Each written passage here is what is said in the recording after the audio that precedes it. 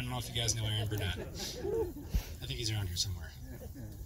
So while we were on a conference call yesterday, our project manager, Brian, asked Aaron Burnett how this project came to be.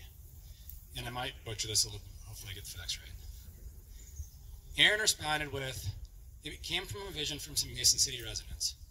And that then that vision was taken and put into action by the North Iowa Human Power Trails organization by getting a trail, a trail professional on board to create a trail master plan.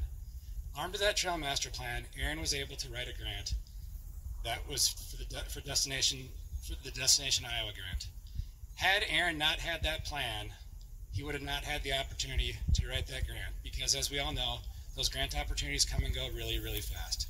So, because Aaron was armed with that grant, due to the vision of the residents here in Mason City, Iowa, and the North Human Power Trail, North Iowa Human Power Trails organization, you all are here today to be able to celebrate the groundbreaking of this River Hawk Trail system at the Prairie Rock Trail Network. Thank you very much.